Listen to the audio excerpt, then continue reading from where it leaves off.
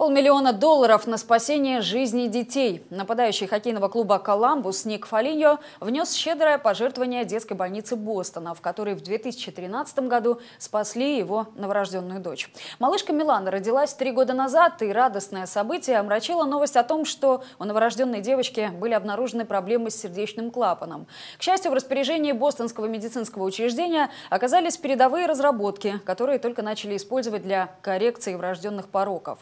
В итоге Милана Фолиньо стала 17-м ребенком в мире, которому установили искусственный клапан.